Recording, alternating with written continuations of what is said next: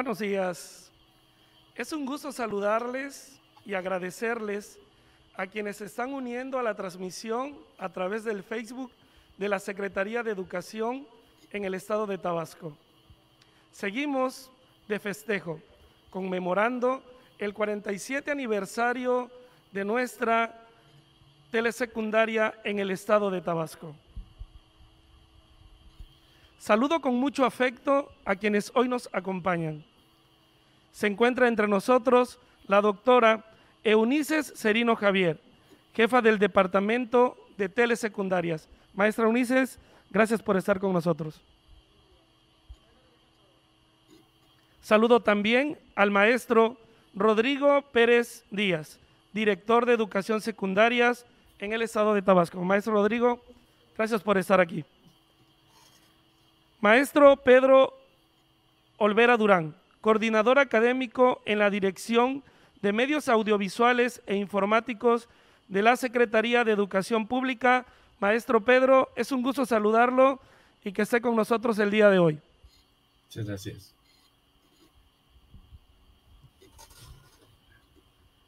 Presentación y lectura del currículum del conferencista a cargo de la doctora Eunices Serino Javier, jefa del Departamento de Telesecundarias. Muy buenos días compañeros, maestros de telesecundaria, nos volvemos a encontrar en esta conmemoración. Eh, amable auditorio que nos están enlazando y que nos han acompañado el día de ayer, el día de hoy y que seguramente nos acompañarán en el transcurso de toda la semana. Autoridades que nos acompañan de manera presencial y aquellas que están conectadas de manera virtual, igual les saludo con mucho afecto. Bienvenidos nuevamente a esta semana de conmemoración del 47 aniversario de las escuelas telesecundarias en Tabasco. Hoy eh, agradecemos infinitamente la presencia del conferencista y el hecho de que haya hecho un espacio para nosotros en su agenda de trabajo. El maestro Pedro Olvera es toda una institución en el contexto del desarrollo histórico de la telesecundaria en México. Fíjense ustedes que eh, hace algunos años eh, tuve la suerte, siendo maestro de eh, una secundaria general como maestro español, se vislumbraba por ahí la llegada de la reforma de 1993 y estaban convocando, porque el proyecto así lo requería, maestros de secundaria que tuvieran desde luego la experiencia de trabajar con alumnos de, del nivel y que, y tuvieran alguna especialidad en este caso, mi especialidad y mi formación en la eh, Escuela Normal Superior fue en lengua y literatura española. Eh, yo tenía la suerte de trabajar en un colegio particular y, tener este, pues, eh, mis horas en, la escuela oficial. Y me acerqué a la unidad de telesecundaria porque estaban requiriendo maestros para, para echar a andar los nuevos materiales de telesecundaria. Y eh, eh, pues fue un poquito difícil, digamos, mi, mi, aceptación porque yo solamente podía trabajar por las tardes y requerían eh, personal de tiempo completo. Sin embargo, al paso de un mes, de pronto recibí una llamada en donde me decían que mis plazas de maestro de secundaria en la escuela oficial habían sido comisionadas y que me iba a, trabajar ahí a la, a la unidad de telesecundaria. Eh, al llegar, desde luego nos dieron una capacitación eh, muy interesante y entonces empecé a, a, entrar al mundo de la telesecundaria, eh, a conocer ese mundo de educativo que poco se conoce o poco se conocía y que de alguna manera era muy significativo y que y bueno, realmente representaba eh, un gran esfuerzo de, la Secretaría para llevar educación secundaria a estos jóvenes de las comunidades distantes. Eh, empecé a, prepararme, nos dieron desde luego una capacitación muy, muy eh, intensa, a conocer a profundidad los materiales y a un poco a, contextualizarnos en lo que sería el, nuevo modelo. Y empecé a hacer, eh, empecé a enseñar por escrito. Es decir, a empecé a elaborar eh, materiales educativos. Y como parte de las actividades que realizábamos en la, en la unidad de telesecundaria, había que salir y capacitar a los maestros que se incorporaban a telesecundaria y la primera experiencia en términos de capacitación fue justamente en Tabasco. Eh, he, estado varias veces en, en, Villahermosa y he caminado tratando de recordar aquel lugar donde fue mi primera capacitación y donde eh, en realidad me estaba, si bien iba a capacitar, me estaba capacitando, ¿no? porque estaba conociendo toda la propuesta de telesecundaria y había que convencer a, quienes eh, nos en ese momento pues iban en la intención de prepararse para incorporarse al servicio. La suerte estuvo conmigo porque tuve la oportunidad de, regresar varias veces. Y recuerdo con agrado que nos hospedábamos en, en el Hotel Independencia y caminábamos hacia, creo que era la Escuela de Artes, donde se llevaba a cabo la capacitación años después. Esta, esta situación hizo que eh, tuviera un compromiso grande con, con, eh, eh, con, telesecundaria, porque nos fuimos metiendo, y el compromiso también con el, Estado y los compañeros de, Tabasco, ¿no? porque siempre se manifestaron, se han manifestado como, como grandes amigos, como grandes colegas. Y eh, con respecto, eh, me gustaría un poco dedicar mi trabajo a quienes ya no están y que de alguna manera construyeron la telesecundaria en el estado de Tabasco.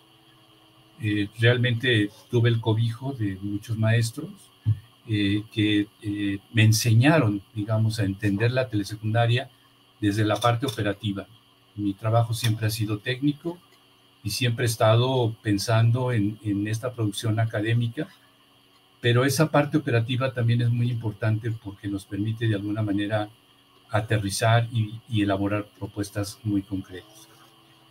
Desde luego, eh, a la doctora Unice, al maestro Rodrigo, y disculpen que los llame así tan familiarmente, pero eh, esa confianza me permite, o me atrevo a hacerlo así, eh, para agradecerles que hayan considerado a un servidor como para eh, compartir un poco la, experiencia de estos materiales. Sobre todo esta evolución histórica de la telesecundaria y consideramos que fuera a través de, los materiales educativos. Voy a apoyarme en algunas diapositivas para ser un poco más objetivo y también guiar mi, conversación. Eh, la verdad es que es como, me pasó como cuando uno está en la eh, definición del, título de tesis que empieza a buscar y armar títulos y títulos y títulos y entonces tiene que ir compactando. La verdad es que de pronto encontrarnos con, eh, con una gran cantidad de materiales para, para compartirlos con ustedes, pues sí fue de pronto ir depurando, depurando, ir quitando algunos, algunas láminas porque se hacía excesivo y pues en realidad tenemos que ser muy cortos y muy, rápidos. Así es que, si me permiten, voy a, presentar y, eh, en caso de que, de que no eh, se presentaran mis láminas, pues por favor me lo hagan saber. Eh, hemos llamado evolución histórica de, de telesecundaria a través de sus materiales educativos porque lo que yo comentaba hace un momento eh, me permitió eh, de alguna manera, este, pues, eh, no sé, tener contacto con, con, estos materiales y cuando uno va a elaborar un material, pues tiene tener, debe tener una visión muy general. Sí quisiera comentarles a ustedes que una de las cosas que, que, me parece que es claro es entender que la telesecundaria, pues tenemos que verla como un servicio educativo. Y cuando hablo de un servicio educativo es eh, de pronto eh, poner a disposición todos estos elementos que si bien a lo mejor no los podemos leer porque pueden resultar unas letras muy pequeñas, creo que los componentes que le dan sentido a, la, a, este servicio los podíamos organizar como, como lo encabezan este, este esquema. Y, de todo este mundo que ven ustedes, he, remarcado esta parte que tiene que ver con el diseño instruccional y que está enmarcado en el componente de la enseñanza. ¿Qué más quisiéramos hablar que en este avance de la telesecundaria, a los 47 eh, años o a los 54 que está a nivel nacional, pudiéramos hablar de todos estos componentes? En la, verdad es que a mí siempre me gusta hablar de manera integral. Si vamos a hablar hoy de los materiales educativos, había que ver que esto tiene relación con otros componentes y que no solamente podemos centrarnos en uno de, en uno de ellos, sino, eh, o si lo vamos a hacer en uno de ellos, no perder de vista que hay otros componentes que tienen que ver con esto. Y en este momento, lo que yo eh, eh, voy a ubicar dentro de este rápido recorrido que va a estar muy saturado de láminas, es, tiene que ver con el diseño eh, instruccional y que está enmarcado en esta idea de la, de la enseñanza. Una de las eh, primeras situaciones que eh, me, me, van a permitir de alguna manera enmarcar es que si estamos hablando del nivel de secundaria, hay tres grandes servicios que, que atienden este nivel, que son las secundarias generales, las secundarias técnicas y las telesecundarias. Desde luego están las secundarias para trabajadores, las secundarias comunitarias, etcétera, las mismas secundarias particulares, ¿no? Entonces, eh, sin embargo, una de las, de las cosas que comentábamos era que era, era importante de pronto distinguir, eh, y, es un poco el sentir, ¿verdad? Porque a veces el, el, las ideas románticas nos ganan, y entonces podemos decir que eh, la telesecundaria es mejor que generales y técnicas.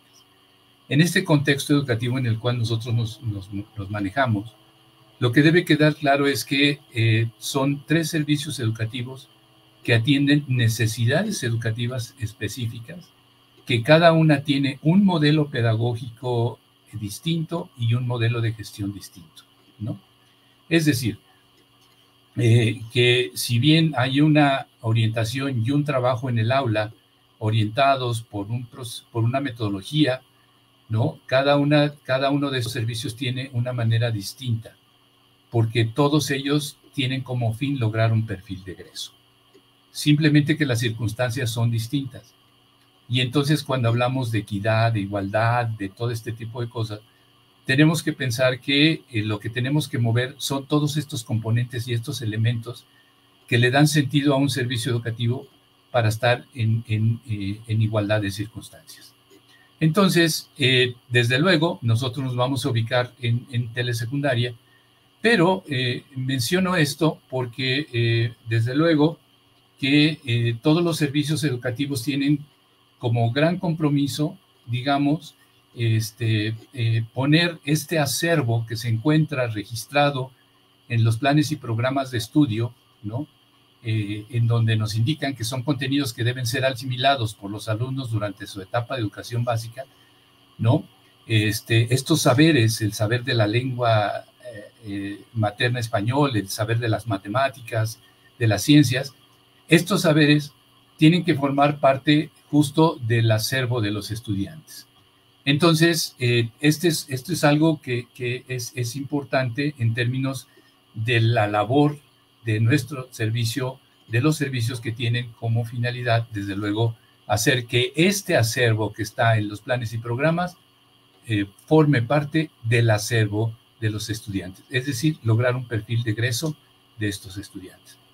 Para lograrlo, nos valemos de un proceso de aprendizaje, ¿no? En donde este proceso es responsabilidad del alumno. Nadie va a aprender por, por el alumno, sino que son ellos los que de alguna manera tienen que, construir ese conocimiento, ¿no? Y eh, eh, puede ser que haya barreras en el aprendizaje, barreras psicológicas, sociales, pero bueno, desde luego eh, que uno tiene que percibir y tendrán que ser atendidos por el especialista o por alguien que les ayude como personas a poder superar esas barreras. Sin embargo, también nos valemos de un proceso de enseñanza. Y entonces hablamos de estos procesos de enseñanza-aprendizaje. Lo que hoy nos trae aquí es reflexionar más en, términos del proceso de enseñanza. Decía ustedes, el proceso de aprendizaje lo dejamos a un lado y nos centramos en este proceso de enseñanza. En este proceso de enseñanza, si nosotros lo vemos, y, por eso la, importancia de distinguir un servicio educativo como el de secundarias generales y el de técnicas, con el de telesecundaria, es cómo se da este proceso de enseñanza cuando hay un solo docente por asignatura. Este docente eh, por asignatura organiza su intervención en el aula, desde luego considera los retos, los desafíos que tienen los estudiantes, eh, tanto en, su, en, el ámbito escolar, es decir, cómo se comportan entre ellos, eh, las cuestiones familiares o las cuestiones sociales donde están ubicados estos jóvenes. Bueno, tomando en cuenta estas situaciones, organiza su intervención en el aula, es decir, realiza una planeación anual, puesto que es un especialista en una asignatura, entonces toma el programa de estudios, lo dosifica, después eh, planea de manera específica por, por bloque y realiza un plan de clase. Y en ese plan de clase, eh, desde luego, eh, organizado o sustentado por una organización del proceso didáctico, y para apoyar su proceso didáctico, selecciona algunos materiales de apoyo. Selecciona unos materiales de apoyo que puede ser el libro de texto, los libros de lectura, los audiovisuales, los interactivos, las bibliotecas, los museos, eh, en fin, hay una serie de recursos que el maestro especialista en la asignatura decide eh, utilizar eh, para apoyar su, su, proceso. ¿Quién decide cuáles son estos medios? Pues lo decide el maestro, el propio maestro, porque él como especialista y considerando que tiene que desarrollar un contenido, se va a valer de un apoyo o un material educativo para trabajar este proceso. ¿Qué sucede en, el proceso de enseñanza con un docente por grupo? Bueno, primero había que pensar que hay un grupo de diseñadores de materiales educativos, son especialistas en cada una de las asignaturas, y un docente por grupo, que es un, docente generalista que cuando hablamos de generalista, quiere decir que tiene que ver con, toda, con todas las asignaturas, pero vean ustedes que de pronto vamos encontrando como dos figuras que de pronto, eh, eh, digamos, se convocan para, para trabajar eh, propuestas educativas o para operar propuestas educativas. Desde luego, como, como vimos en, en la, en la lámina anterior, desde luego que hay eh, también se consideran los retos. El, diseñador eh, tiene claro para quién está elaborando el material, porque tiene que elaborar propuestas muy orientadas a los destinatarios. Y por el otro lado, un docente que está en el grupo, pues desde luego para ser significativas las propuestas, tiene que considerar esos retos y esos desafíos. Es decir, este comportamiento del estudiante en, el aula, en su contexto familiar y en los contextos sociales. Bueno, ¿Qué es lo que hace el diseñador de materiales educativos? Pues desarrolla propuestas pedagógicas para cada asignatura y se incluyen en los materiales educativos. Cuando hablamos de propuestas educativas, estamos considerando, digamos, todos los elementos y componentes, ¿no? Eh, más adelante eh, manejaré un poco la idea de lo didáctico, pero ahora hablamos como en un nivel mm, más general que tiene que ver con la parte pedagógica y eh, la, parte pedagógica significa más elementos que de, pronto se organizan para, lograr un fin. Entonces, lo que hacen los diseñadores es desarrollar propuestas pedagógicas y lo hacen escribiendo, lo hacen señalando algunos contenidos que tendrán que quedar en alguno de los eh, materiales educativos. Justamente cuando yo empezaba mi intervención, hablaba de este desarrollo. Y un servidor inicia en, formando parte de un equipo de elaborador de materiales, ¿no? En este contexto donde para un docente que, hay solo por, por grupo. Y entonces yo tenía que desarrollar propuestas pedagógicas. Desde luego que aquí intervenía mucho mi experiencia como docente frente al grupo y por otro lado la, eh, el conocimiento en la asignatura. Quiero comentarles a ustedes que cuando uno está en este contexto, por ejemplo, un servidor si bien venía presumiendo la formación de una normal superior en lengua y literatura española, pues sí, tenía un tanto el dominio y la relación con los adolescentes, pero en técnicos, en, en cuestiones técnicas, el rigor de la asignatura me exigía tener mayor información. Por eso mismo decidí estudiar la carrera de letras en la UNAM para fortalecer la parte académica. Es decir, y ya hablo, eh, disculpen, pongo mi nombre, pero eh, en realidad es eh, la función de, estos diseñadores, porque tienen que ver no solamente con la parte del rigor académico de la asignatura, sino también con esta relación que tienen, esta idea de saber que se trabaja para, para adolescentes, ¿no? Por otro lado, entonces, eh, esto lo concretan en, libros, pueden ser en libros, en interactivos, en audiovisuales o en libros para, para el maestro. ¿Qué es lo que hace el docente por grupo? Pues realiza adecuaciones e instrumenta las propuestas pedagógicas incluidas en los materiales educativos, ¿no? Entonces, como, como eh, verán ustedes, ¿no? Eh, hay, hay funciones, digamos, complementarias pero que tienen que ver mucho con, con esta, estos modelos, eh, eh, digamos, educativos que eh, se organizan para trabajar con un docente especialista o con un docente por grupo que organiza. Desde luego, este docente generalista no tiene un dominio profundo de todas las asignaturas. con el tiempo puede ser que vaya construyendo un acervo fuerte que le permita en un momento determinado contextualizar las situaciones. Pero lo que sí es cierto es que un rigor profundo, pues es un poco complicado, ¿verdad? Tendría que tener una especialidad o la especialidad de todas las asignaturas. Entonces, en, este, eh, en esta situación, eh, decíamos, tenemos los diseñadores y eh, un maestro por grupo, por lo tanto, la intervención en el aula será el resultado de un proceso de mediación pedagógica que se implementa en dos momentos. Por un lado, uno corresponde a las propuestas pedagógicas que se plantean en los diferentes materiales educativos, ¿no? Y por otro lado, eh, eh, vamos a ver que es otro eh, con la participación del docente, es donde las propuestas pedagógicas encontrarán sentido y alcanzarán su propósito cuando el profesor las, las define. Esto es muy importante y como se darán cuenta, el, en un modelo donde hay un docente por grupo, sí debe tener muy clara cuál es la función de, este maestro, ¿no? Es decir, es un organizador de las propuestas que fueron elaboradas.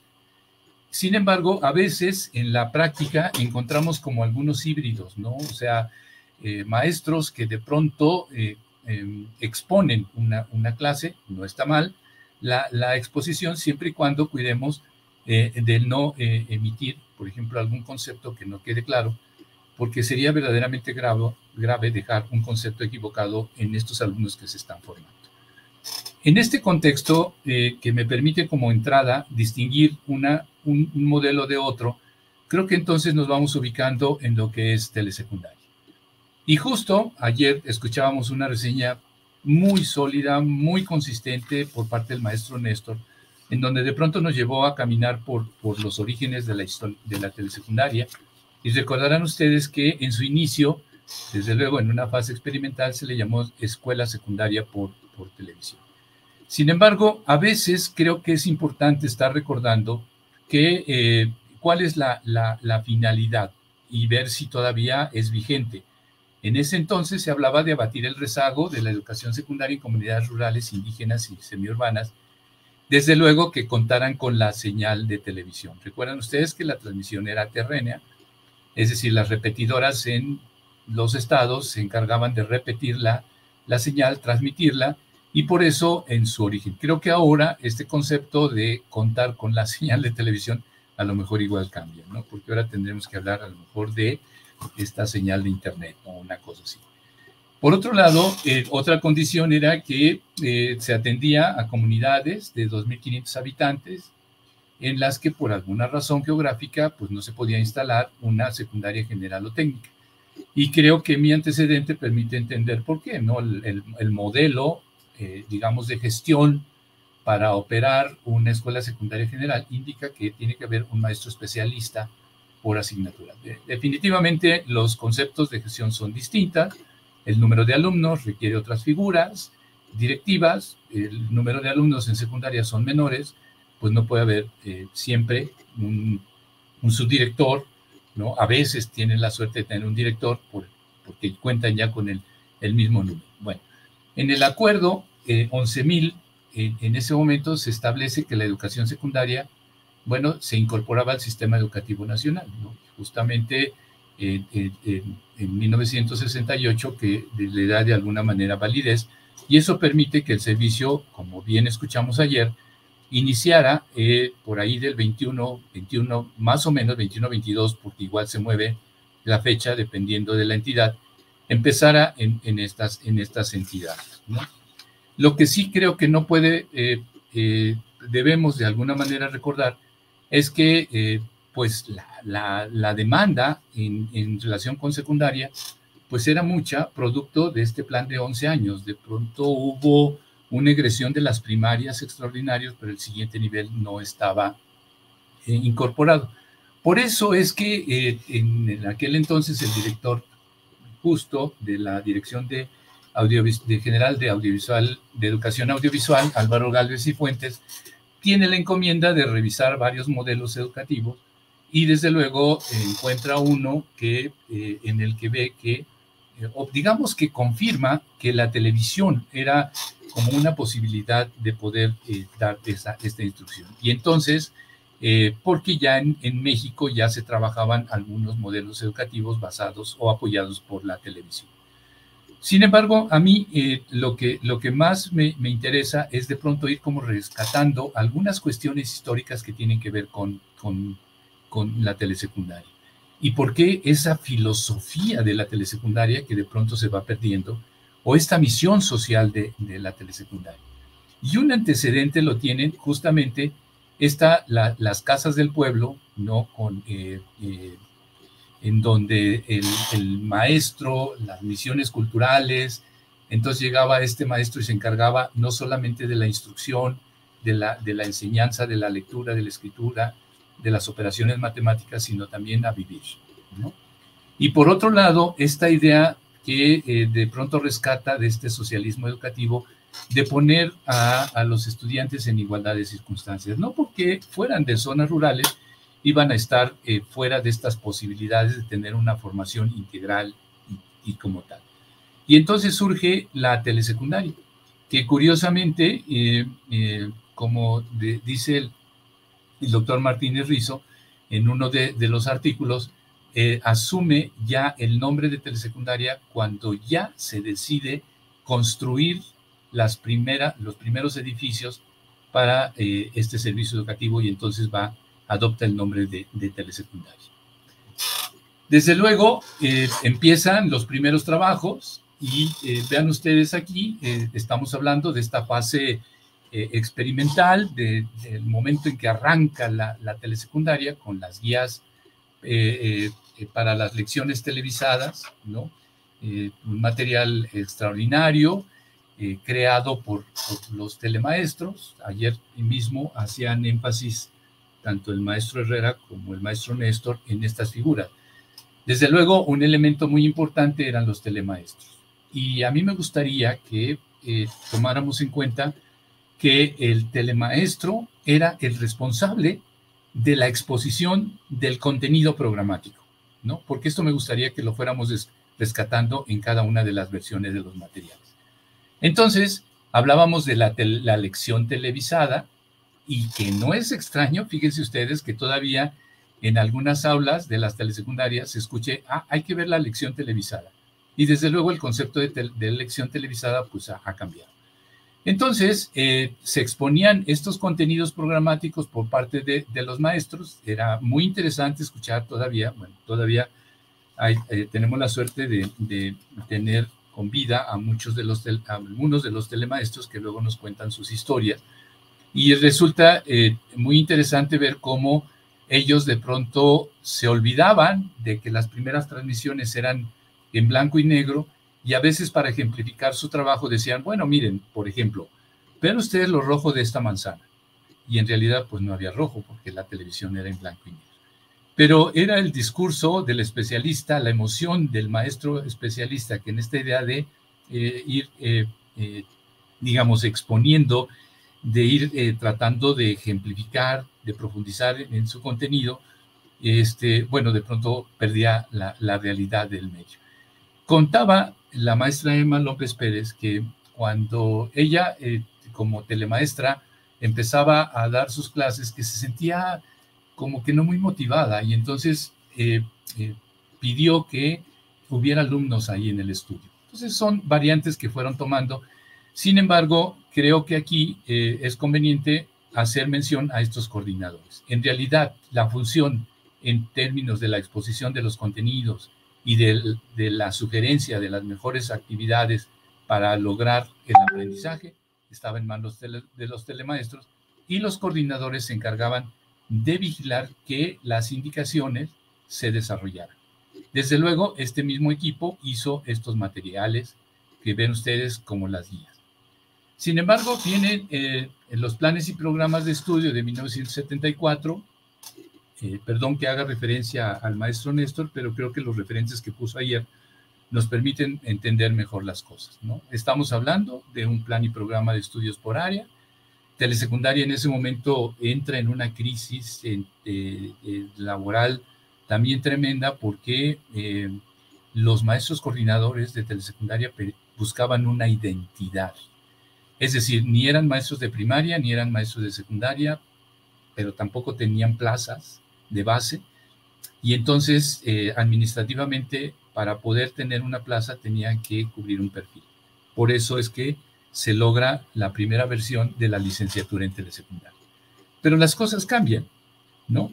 Entonces, eh, fíjense, eh, cambia, eh, ahora la responsabilidad la tenía la Dirección General de Materiales Didácticos y Culturales, quien delega la responsabilidad a lo que hasta hace un año, dos años fue la Dirección de Televisión Educativa, y desde luego entra con una visión, digamos, eh, más especializada. Había ya productores, había gente que planeaba bien las sesiones, porque todas las sesiones al principio eran en, vivo.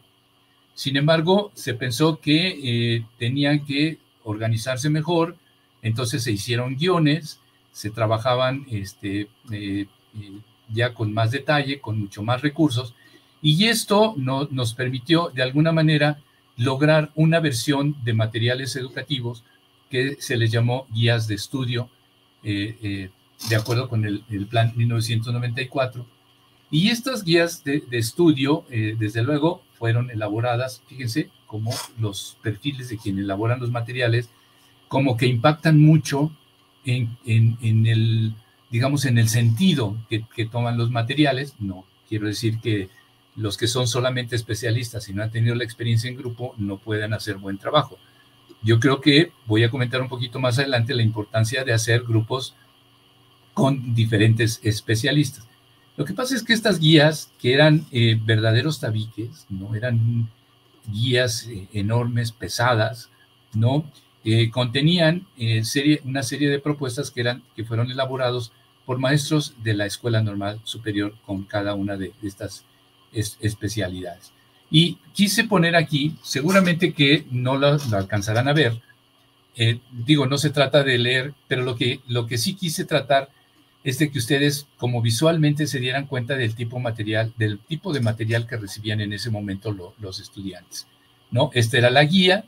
Eh, vamos a ver un esquema didáctico muy lineal, porque tenía que ver con los enfoques de, los programas.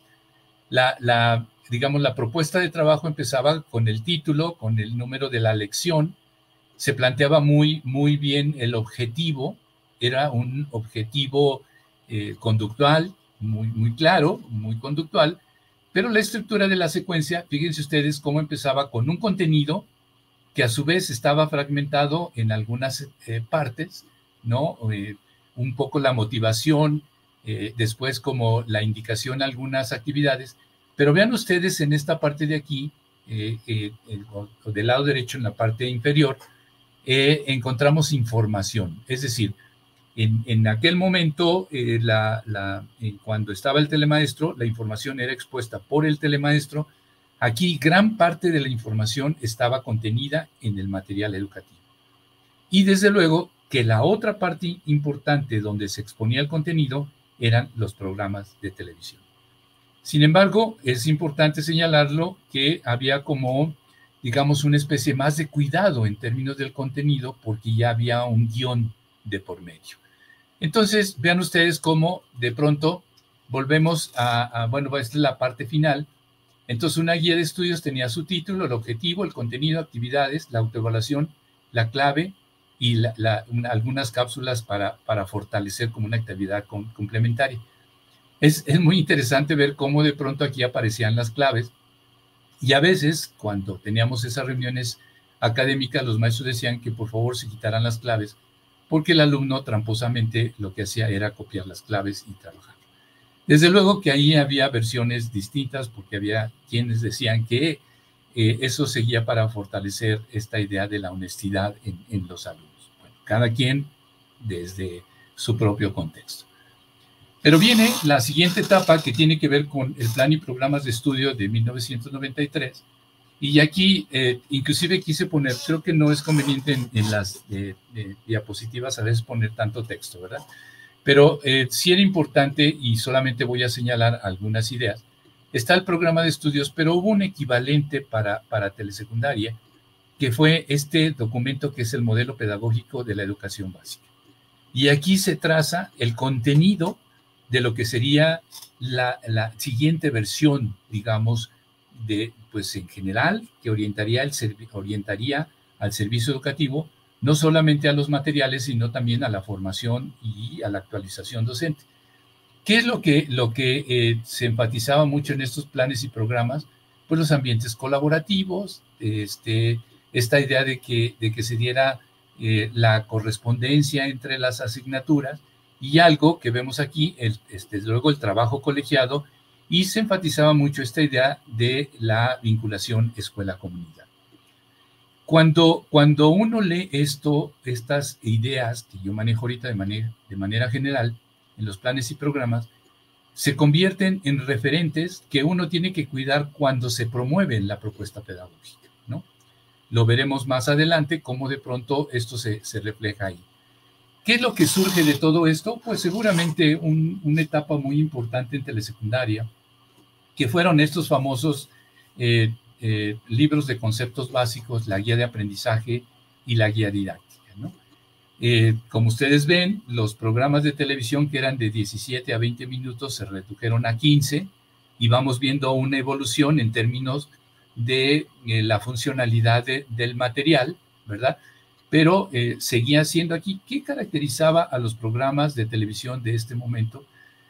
Eh, recordarán ustedes que para cada asignatura había un estilo, si lo puedo llamar así, o un género eh, televisivo, por ejemplo, había dramatización, había documental, había entrevistas, etcétera, y en las asignaturas se adoptaba una de estas formas para desarrollar el contenido. Por otro lado, estaban estas guías de aprendizaje, que vamos a ver ahorita un ejemplo, el libro de conceptos básicos y la guía didáctica. Yo recuerdo que en aquel momento, cuando escuchábamos a quienes nos dirigían, era la idea de que eh, se promovía mucho que el alumno fuera a la biblioteca y, pues desde luego que no, no habría bibliotecas en la comunidad más que la que pudiera tener la propia escuela. Sin embargo, eh, ¿Qué sucede? Que el libro de conceptos básicos que estaba organizado como si fuera una enciclopedia temática, permitía al alumno ir a hacer este juego de la investigación, ¿verdad? Porque las propuestas de trabajo se incluían en la guía de aprendizaje, pero en, el, en, el, los libros de conceptos básicos encontraba la información. Entonces, la información ahora estaba expuesta, la información programática estaba expuesta en los artículos del libro de conceptos básicos y en los, y en los programas de televisión. ¿no? Eh, eh, ¿Qué va pasando con aquel coordinador de, de, área que ya, pues desde luego en, en, el 73, a partir del 73, tenía una responsabilidad más directa, ¿sí? estaba más involucrado con, con el grupo, ¿verdad? Porque ahora, recuerden ustedes que había una información que estaba expuesta en el programa de televisión, pero como no era en vivo, no había como una especie de interacción o de reflexión, sino que si bien se cuidaba mucho que fueran emotivos los programas, pues nunca como una transmisión directa. Sin embargo, aquí ya se, se, trabajaba un poco más esta idea y se fortalecía la idea del maestro como mediador. Es decir, yo tengo una propuesta pedagógica en unos materiales, la reviso y la hago significativa en el momento en que eh, eh, la contextualizo a, las necesidades de los alumnos. Recordarán ustedes, esta, esta es un, formato de este libro. Esto corresponde a la guía eh, de aprendizaje, porque era la, la, que detonaba las actividades, ¿no? Sin embargo, recordarán ustedes de aquel, aquella organización lineal de las guías de estudio, ¿no? Con tres, cuatro etapas en, el proceso, Aquí en los materiales educativos se encuentra ya un proceso más desarrollado. Para empezar, venía esta parte eh, eh, motivadora, que, recuerdan ustedes, dice, cuando, eh, cuando no es posible resolver algún problema con las operaciones básicas, es necesario hacer uso de otras operaciones que la resuelven. Y de pronto te dejaban como, a ver, ¿de qué me estás hablando? bueno observa el programa de televisión y comenta con el profesor y compañeros, ¿por qué la potenciación y la radicación son eh, operaciones inversas? Entonces por aquí te lanzaba la motivación, después veías el programa de televisión que te informaba, había una etapa que era recuerda para eh, rescatar lo visto en la sesión anterior con la nueva y después te remitía al libro de conceptos básicos. El análisis, la síntesis, la aplicación, después evaluábamos y como ven ustedes, venía la clave. Claro, ahora con una variante que era invertida, ¿no? Para que pues no les resultara tan fácil la, la Pero eh, vemos este proceso que además, puesto en, un esquema, da razón de, de por qué. Una de las preguntas que yo les decía a los profesores, ¿por qué creen ustedes que tienen una guía de aprendizaje? ¿Por qué tienen un conceptos básicos? ¿Y por qué hay un programa de televisión? Bueno, este era un esquema básico que como ven ustedes, había, se partía de la necesidad del alumno o de la experiencia cercana al alumno, y entonces eh, eh, esta motivación que yo les decía, ¿sabes lo que es Dios vida? Si no sabes lo que es vida, Dios vida, observa el programa de televisión.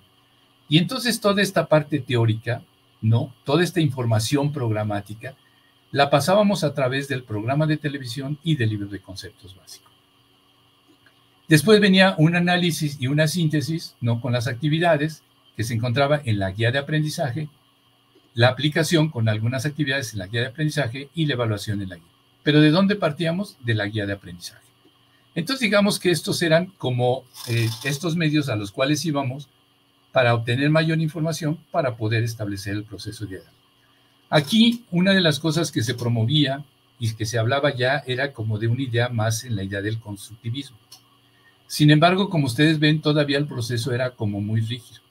En algunas ocasiones que comentábamos con algunos técnicos, nosotros llegábamos presumiendo que nuestros materiales ya eh, se enfocaban en una idea constructivista. Sin embargo, nos hacían ver y nos, desde luego, nos refutaban que aún no se lograba, y sobre todo porque eh, la manera como estaban planteadas las actividades, ¿no? En cada uno de ellos era todavía eh, muy conductual, muy, haz esto, haz lo otro, haz acá. Lo que ya daba como unas primicias para, para ir rompiendo aquel esquema lineal que teníamos en los primeros materiales, era que ya se incorporaban diferentes etapas, ¿no? Es decir, antes de aplicar, pues analizábamos la información, ya después se aplicaba y, se evaluaba, ¿no? Entonces, vean ustedes cómo eh, siempre hay un esquema, había un esquema básico que a veces no se conoce, y que justamente en esta idea de, trabajar con los materiales, pues nos recibimos y hacemos un, trabajo eh, mecánico que, eh, pues de pronto pues no es del todo, no es del todo favorable. Algo que tuvo este modelo que, resultó muy, muy importante es que había actividades, si bien teníamos un ciclo escolar, y en esta idea de que había que preparar actividades, había que planear y organizar actividades para que el maestro simplemente tomara el material y las contextualizara. Bueno, en el ciclo escolar, eh, me, voy a centrar aquí en el esquema, donde dice durante, el bien el ciclo escolar tenía actividades curriculares y co-curriculares, recordarán ustedes que había ah, propuestas de trabajo para la inducción, lo que era horizontes de telesecundaria. Y también las de cierre, que eran perspectivas del camino recorrido. Entonces, le proponíamos al maestro cómo trabajar durante una semana en esta contextualización al alumno eh, con la inducción y el cierre del ciclo escolar y una serie de actividades intermedias para demostrar esa vinculación escuela-comunidad que se planteaba en los programas de estudio y por otro lado evidenciar lo que habíamos trabajado pero aplicado a justamente a la comunidad tomando un problema de la comunidad y eh, planteando alternativas de solución ¿no? sin embargo si bien este era material porque había propuestas para cada día de trabajo el maestro tenía todo organizado también había el famoso curso propedéutico y las actividades de nivelación entonces, ¿por qué? Porque los niños, pues no siempre asistían todo el tiempo a la escuela, eh, eh, eh, y entonces, pues tendrían que tener algunas actividades de recuperación. A veces se ausentaban una semana o alguna cosa así, y aunque el maestro tenía cuidado de tratar de regularizarlo, pues se quedaban por ahí algunas lagunas que de alguna manera con estos cursos ¿no? de verano se regularizaban. Como, como ustedes ven, me estoy centrando mucho en, el material eh, eh, eh, impreso. Sin embargo, es importante señalar la presencia en este momento de la red de USAT. Porque en su momento la red de USAT permite la llegada a los lugares un poquito más apartados gracias a las antenas parabólicas. No profundizo en esto porque si quisiera meterme más en, en la parte de los libros, como ven ustedes, y como ayer lo decía el maestro Alfonso, eh, eh, digamos, todo, todo el impulso, trabajo pedagógico y didáctico se hace desde los propios materiales educativos. Eh, la red EduSat es el medio por el cual hacemos llegar los materiales, ¿no? Este, igual como ahora por internet o, o por el portal, etcétera, están llegando los materiales. En su momento, la red EduSat este, cumplió con una buena eh, tarea en términos de que estos materiales estuvieran llegando. Desde luego, hay una complejidad, como, como todos lo sabemos, en estas cuestiones tecnológicas que requieren, a su vez, de un trabajo, más bien eh, una estrategia de seguimiento y de atención continua, porque pues como herramientas pues necesitan de, mantenimiento. En fin, eh, eso es otro cantar que igual en algún momento si hay otra oportunidad, lo mencionaremos. Telesecundaria sigue avanzando y fíjense ustedes que por ahí de, recordarán que por 1999, un poquito antes, aparece una versión de los programas de formación cívica y ética. Y esto dio eh, eh, un sentido diferente a, los materiales porque, eh, como ven ustedes, si bien las imágenes anteriores eran como a dos tintas, o, o verde y blanco, o azul y blanco, o guinda y blanco, ahora aparecen las primeras versiones en color. Y la primera versión de materiales de telesecundaria en color fueron los de formación cívica y ética. Con, no solamente en términos de, de, su interior, de, de, su exterior, sino también aparece ya el concepto de secuencia didáctica. Y aparece por aquí eh, que ya no necesariamente, al, al ser secuencia didáctica, no estamos hablando de sesión de aprendizaje en el modelo anterior había, unas, había sesiones diarias y cada sesión tenía un programa de televisión.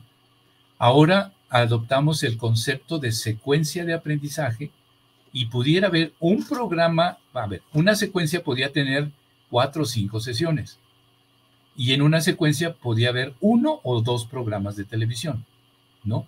Esto, desde luego, que generó, pues, desconcierto en, los maestros porque estaban acostumbrados a estar eh, recibiendo un programa de televisión por, por sesión.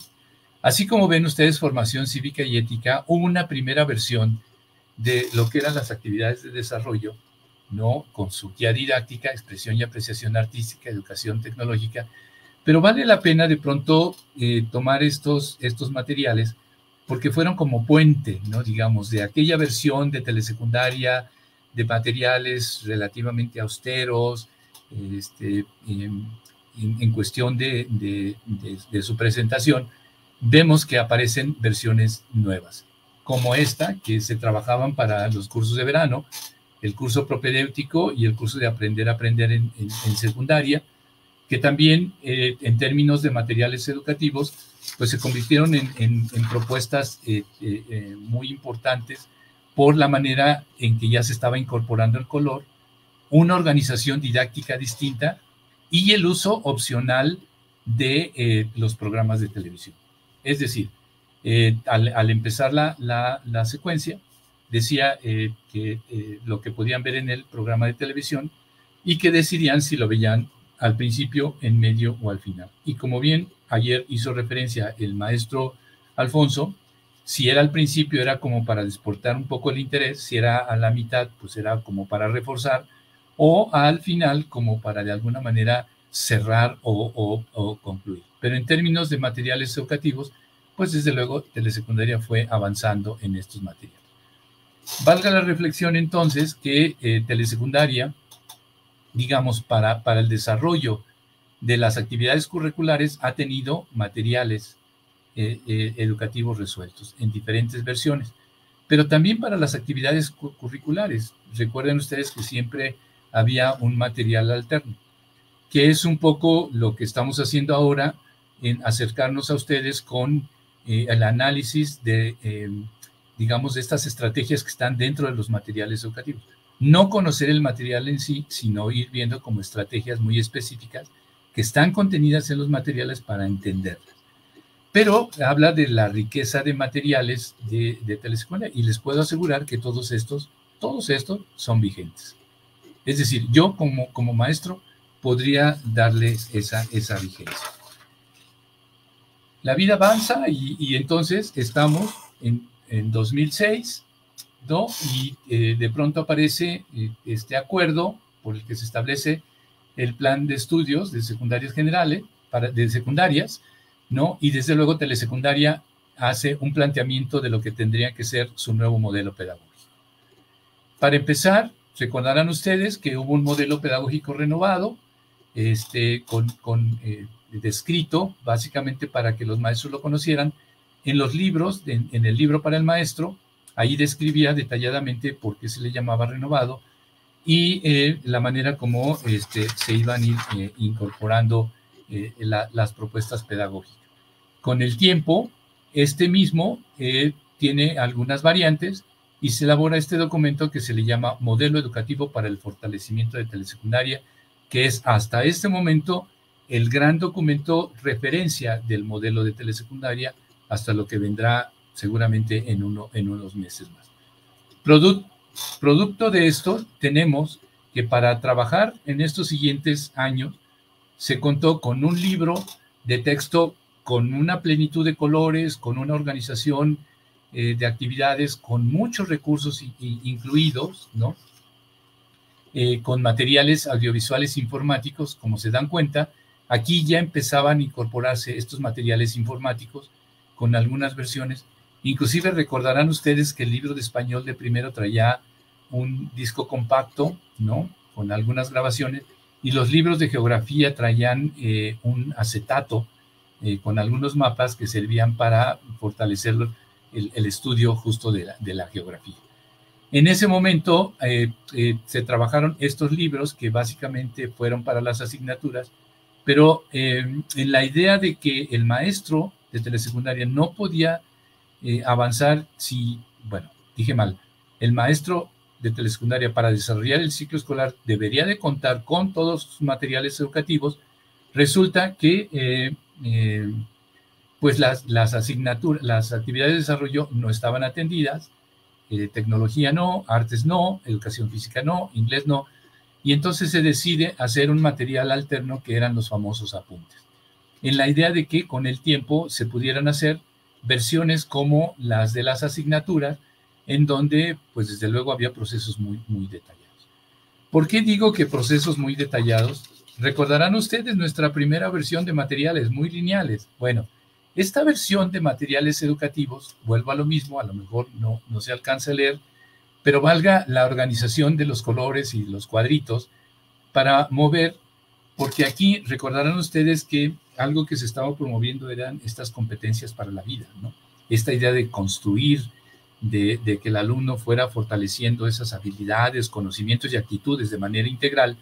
Y entonces los, la, estructura didáctica se hace más compleja. Ahora sí hablo de la estructura didáctica eh, en términos de que aquí había una parte que hemos heredado, que es para empezar, ¿no?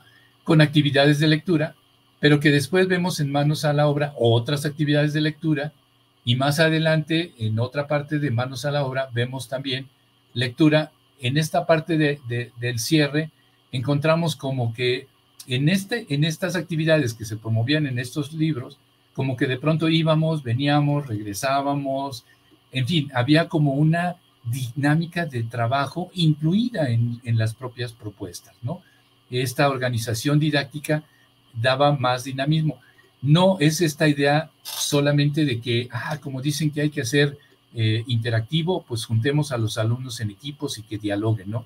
Ya las propuestas estaban incluidas, pero además esta variedad de reorganizar y de reorganizar las actividades permitían que desde los mismos materiales educativos, sin que se diera una indicación específica de cambiarse a nuevos grupos, etcétera, se estuviera dando de manera natural, ¿no? Entonces, estos materiales, desde luego, eh, eh, contribuyeron para, para, para, lograr ese, ese dinamismo. El, maestro contaba con un libro para, para el maestro que, eh, desde luego, como que de pronto hubo quienes se sintieron a gusto y otros que se les hizo muy complejo el, proceso. ¿Por qué? Pues porque era el libro del maestro, pero tenía incluido el, digamos, el libro para el alumno en una versión reducida y entonces para cada una de las actividades siempre proponían otra actividad más. Si nos damos cuenta, realmente aquí era, era un poco complejo porque en sí ya el libro de texto de telesecundaria en su propia conceptualización ya incluye una organización del ciclo escolar.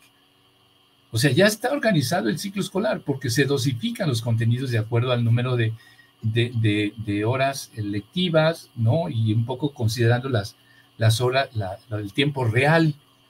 No sé, no, si tenemos 200 días, no se proponen actividades para los 200 días, siempre van a ser menos por las situaciones que se vayan dando. Entonces, Imagínense a un maestro de pronto con, con un libro para el maestro, para cada asignatura, con actividades ya propuestas en los materiales, más otras que les proponían acá. Sin embargo, no hablemos mal de esto porque siempre había como algunas respuestas o había comentarios sobre eh, lo que el alumno, sobre los resultados que fuera obteniendo el alumno al realizar las actividades. Algo que era, que era importante eran estas matrices que se ponían tanto en el libro para el maestro, porque el maestro podía tener de manera integral ¿no? esta visión de cómo estaba organizado el libro, pero también hacía un análisis horizontal en términos de ver desde el título de la secuencia, el contenido que desarrollaba, lo que se esperaba en términos de destrezas, actitudes, y eh, eh, por otro lado, los recursos con lo que contaba. Pero el alumno también tenía un equivalente, porque tal, el alumno también era partícipe de esta matriz cuando sabía lo que podía tener y cómo estaba organizado. No cabe duda que elementos como estos no permitían en un momento determinado no este, eh, dar un concepto especial a estos materiales. Por otro lado, eh, como bien les decía, en los mismos materiales aquí se hace una incorporación de, desde luego, de ver los programas por eh, EduSat eh, se incorporan los interactivos, pero también se trabajaba mucho esta idea del aula de medios. Y entonces se proponían actividades para, para trabajar con, con, Excel o con hojas de Excel o de cálculo, más bien, este, para que eh, pudiera el alumno trabajar. Hay cosas que en algunos casos funcionaron, pero también fueron como grandes retos para el maestro, porque aún en esas limitaciones de los contextos eh, podían echar adelante el trabajo. Una versión que recordarán ustedes y que por ahí se, manejó mucho, que Telesecundaria no tenía una versión de los libros de acuerdo con el programa de estudios 2011, ¿no? Eh, bueno, eh, se, hizo una versión para estos materiales, pero esta versión era, eh, digamos que era como un adelanto para, para lo que fuera estos materiales, para que lo que fueran las nuevas versiones.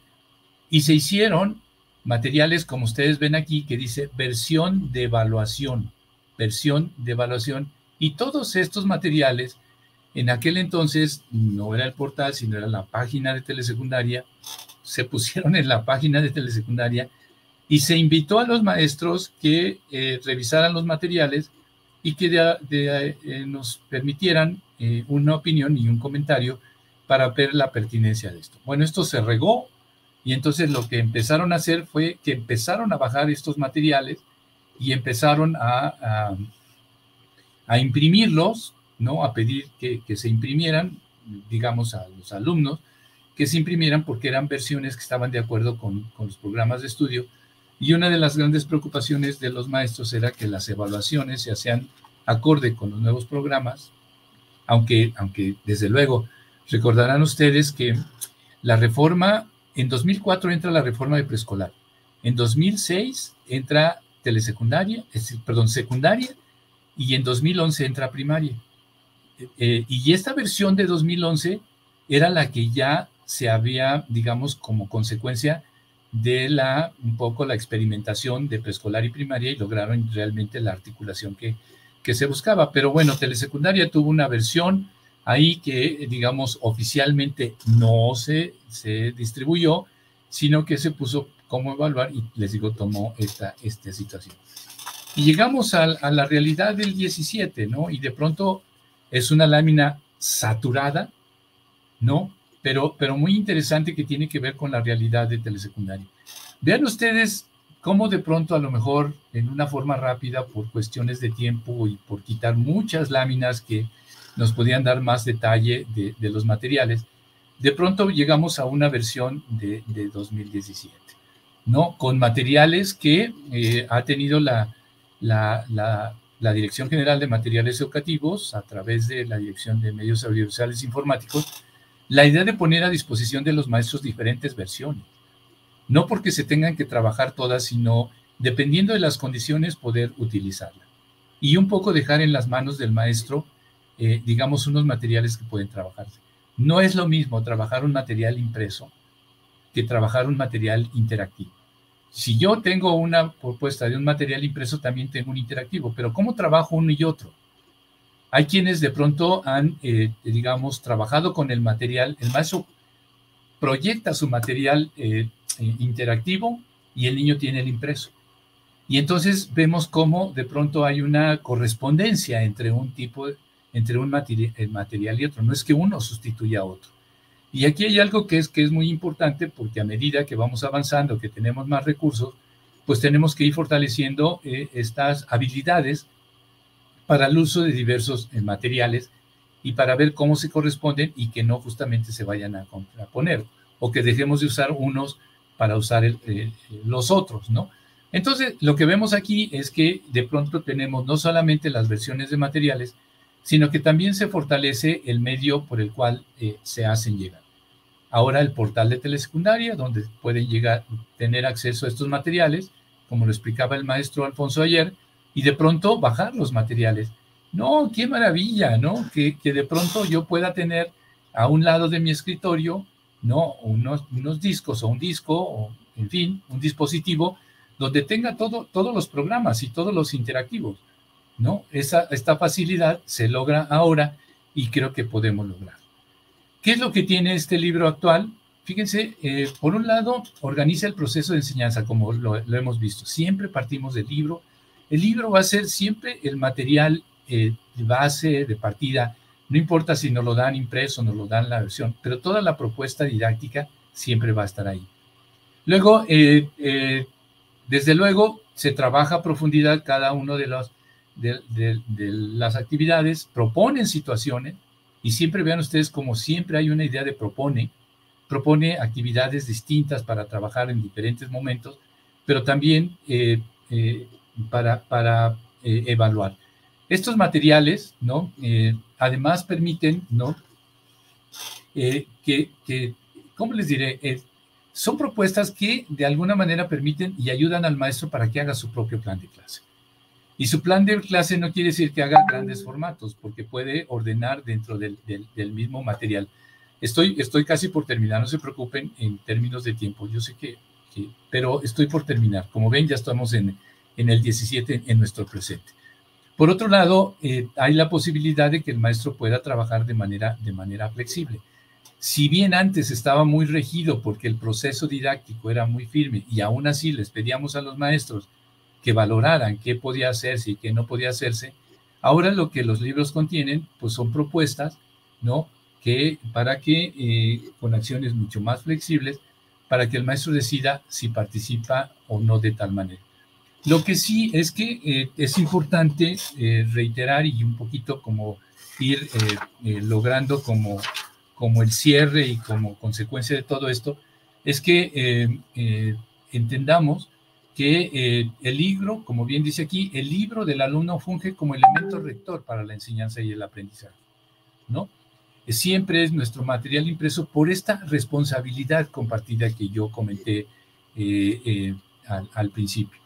Entonces, es un material, repito, para que el maestro tome decisiones, pero además, algo que es muy importante es que dentro de, fíjense, que esa es una ventaja que tiene telesecundaria, porque como se elaboran los materiales y se elaboran con, eh, en, una, en una misma área, esta idea de la vinculación con las asignaturas se da desde los mismos materiales.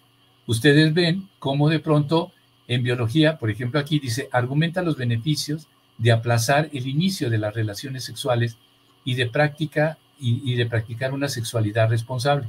Esto se expone en, biología, mientras que en formación cívica y dice comprende los cambios físicos y emocionales que experimenta durante la adolescencia. Esta posibilidad de tener el diseño de los materiales desde una sola área en donde eh, si bien en, secundarias generales y técnicas se ve verdaderamente difícil una interacción entre los maestros, aquí esta interacción se da desde los propios materiales. Esas son situaciones que, le van dando valor. Y desde luego, otro, otro elemento que, yo promuevo mucho y que la verdad digo que, es el material de arranque, es los libros para, para el maestro. Ayer el maestro Alfonso también mostraba una parte de estos libros, pero en los libros del maestro en sus dos partes, primero una parte conceptual que permite rescatar todos los enfoques, las finalidades de la asignatura, y una siguiente parte que tiene que ver con una cuestión práctica, con estas eh, organizadores que ponen en las matrices, en donde de pronto tiene una visión de cómo se está dando toda, toda la secuencia. Yo diría un ejercicio muy importante para iniciar un ciclo escolar es agarrar el libro para el maestro y empezar a contextualizarse en, sus primeras partes, que habla de la dosificación y de cómo está organizado el libro, y luego, pues en una segunda parte que es a lo largo del proceso. Si ustedes me permiten, yo diría que en términos de, conclusión, seguramente que eh, a lo mejor generé desorden y a lo mejor requerían ustedes mayor información, pero bueno, estamos rebasando casi la hora. Era, eh, yo diría, algunas conclusiones. Eh, es importante conocer nuestros materiales, porque en el marco de la idea de una responsabilidad compartida, los materiales educativos, es necesario conocer los materiales educativos elaborados de telesecundaria para realizar un proceso de enseñanza congruente, ¿no? Por esta, por esta eh, responsabilidad compartida. Es decir, no es que yo dude que no se pueda ser un buen expositor de un contenido, ¿no? Inclusive a veces uno tiene la, la especialidad y puede a lo mejor hasta prescindir del material porque uno tiene la garantía de haberse preparado eh, en una asignatura y puede dar la clase, en el sentido de dar la clase. Pero si es una asignatura de la cual yo no tengo el dominio, es mejor entonces meterse a los materiales. Pero desde luego que esto implica conocer las características y la función de cada uno de los materiales educativos, pues para conocer, como, para valga la repetición, su aportación y la forma como se corresponde. Es decir, ¿qué hay en el libro de texto? ¿Cómo se complementa con el, con el audiovisual? Cómo se complementa con el informático. Y aquí diría yo, si en esta idea del maestro de incorporar otro material educativo, ¿sí? Es decir, había que ver cómo este material que decide el maestro incorporar, ¿no? Se corresponde con los demás materiales y sobre todo con la, con la organización didáctica. Otra de las cosas que es, importante es eh, estos componentes comunes, ¿no?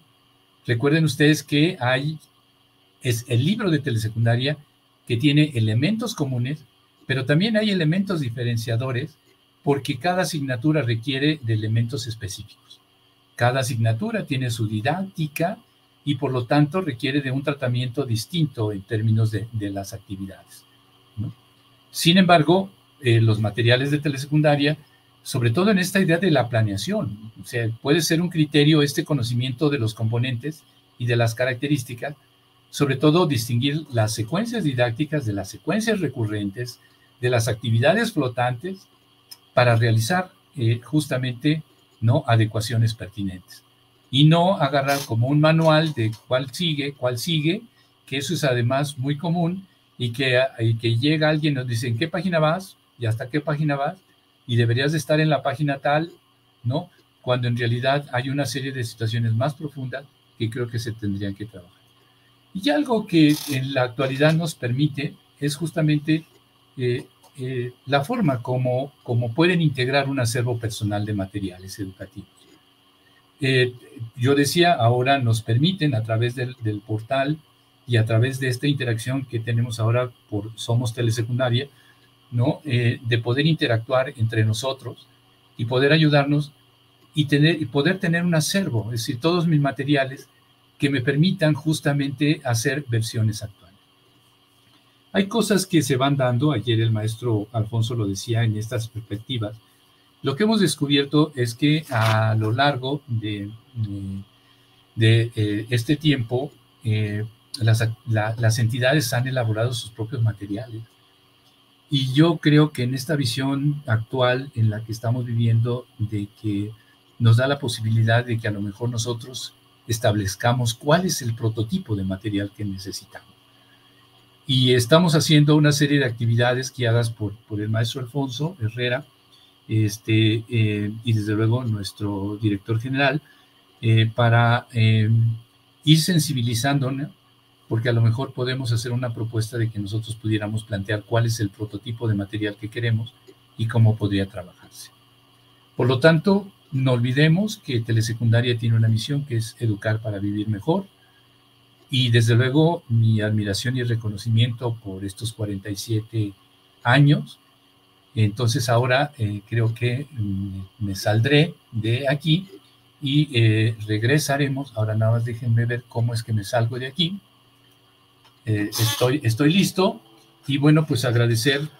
espero, creo que no hay sesión de preguntas porque el tiempo nos come, pero espero que mi aportación a este 47 aniversario y al reconocimiento haya sido del agrado de ustedes. Muchísimas gracias, doctor Ernice, y un abrazo para todos los integrantes del servicio.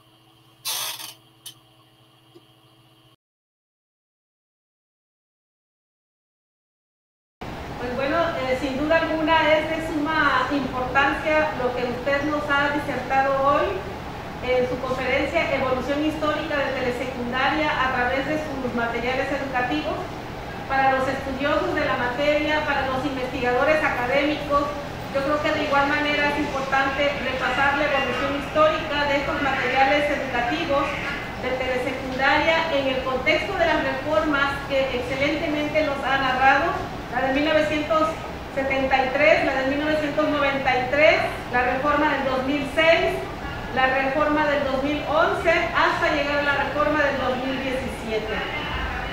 Dice un dicho que que no conoce su historia eh, comete o corre el riesgo de cometer el mismo error. En telesecundaria no tenemos esos errores porque al contrario en cada una de las reformas hemos ido corrigiendo y procurando la evolución de nuestros materiales educativos. Y desde luego estas reformas son importantes porque nos dan luz para los nuevos eh, planteamientos de los planes y programas de estudios que vengan. Eh, de igual manera, queremos agradecer eh, en este contexto a todas las maestras y maestros que se han conectado desde Centla, Cárdenas, Jalapa, Tapotalpa, Teapa, Cunduacán, Centro, Huimanguillo, Tenosique, Comalcalco. Muchísimas gracias por habernos acompañado, sobre todo por haber dedicado parte de su jornada laboral para esta temática que sin duda alguna para todos los que somos maestros de telesecundaria es de suma relevancia. Eh, coincidimos y reiteramos las palabras que nos decía el maestro Olvera. Es importante que todos los que nos decimos maestros de telesecundaria veamos este subsistema efectivamente como un servicio educativo, pero que además procuremos la instrumentación de las propuestas pedagógicas de acuerdo al contexto de la comunidad en donde se encuentra inserta cada una de las escuelas telesecundarias. Muchísimas gracias, maestro Pedro Olvera Durán. Sin duda alguna, eh, muchos eh, haremos algunos replanteamientos respecto a nuestros planes y programas de estudio y sobre nuestros materiales educativos, el libro para el maestro y el libro para el alumno. Cedemos la palabra en este momento a nuestro compañero José. Eh, muchísimas gracias, doctora Eunice. Indiscutible la participación valiosa la participación del maestro Pedro Olvera y de manera simbólica recibe su reconocimiento por su participación como, como conferencista en la evolución histórica de telesecundaria a través de los materiales educativos. Maestro Pedro, muchísimas gracias y ya pronto se le hará llegar su reconocimiento. Eh, igual, en esta transmisión estuvieron muy atentos este, algunos estados de la República que nos, quienes nos estuvieron acompañando durante este día. Eh, agradecemos al estado de San Luis Potosí, Jalisco, Coahuila, Sinaloa, Monterrey, Estado de México. Muchísimas gracias a cada uno de los, de los maestros y de las zonas escolares que estuvieron muy atentos a esta conferencia.